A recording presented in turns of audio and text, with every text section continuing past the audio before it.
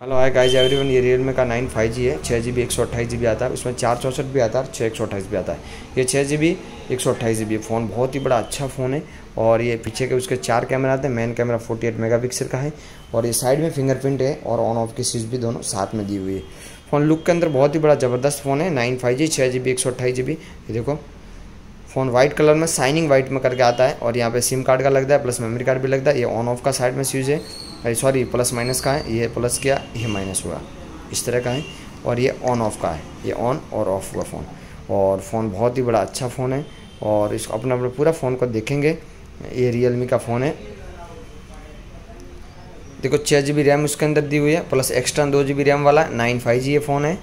और media take diamond city आठ सौ दस का प्रोसेसर आता है फ़ोन के अंदर। तो प्रोसेसर बहुत अच्छा आता है। और आगे का ये सेल्फी कैमरा है। कैमरा इसका बहुत ही बड़ा अच्छा आता है। सेल्फी कैमरा देखो, बहुत बड़ा ज़बरदस्त है फ़ोटो के अंदर और फ़ोन लुक में बहुत अच्छा फ़ोन है। ये रियल का नाइन फाइव जी है और टाइप सी का चार्जर आता है और ये एयरफोन जैक का है और यहाँ पर स्पीकर हैं और फ़ोन लुक में बहुत अच्छा फ़ोन है।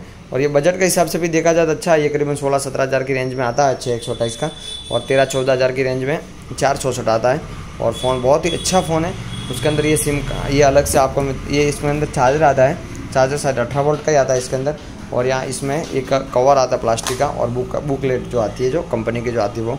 और अपने देखेंगे उसमें क्या प्रोसेसर है और क्या क्या फीचर्स हैं, उसके बारे में। आप एक बार मेरे वीडियो को अंत तक रहना, एक बार लाइक करना शेयर करना सब्सक्राइब ज़रूर करना ताकि मेरा हर वीडियो आप तक मिले।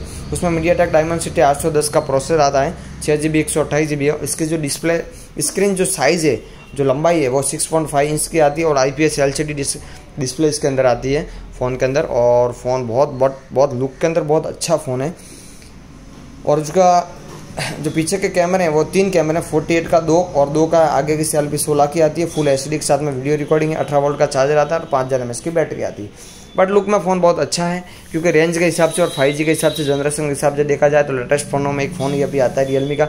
और रियलमी के जितने भी फ़ोन आते हैं, बहुत अच्छे आते हैं और लुक में भी बहुत ज़बरदस्त आते हैं। और एक अच्छे फ़ोन क्वालिटी भी अच्छी आती है और फ़ोन बहुत अच्छे आते हैं। किसी को अच्छी है तो एक बार ज़रूर बताना फ़ोन आपको अच्छे भाव में, मैं आप करवा दूँ मिल जाएगा। और मेरे कमेंट बॉक्स में ज़रूर डाल देना ताकि मैं आपको हर तरह की जानकारी भी मिल जाएगी और आपको मैं बताता रहूँगा।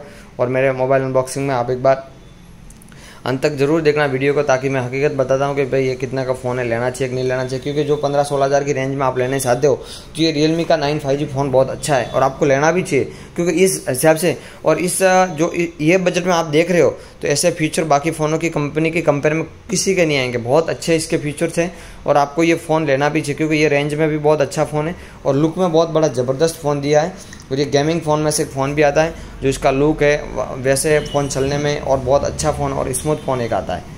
थैंक यू सो मच और नेक्स्ट टाइम वीडियो में मिलेंगे।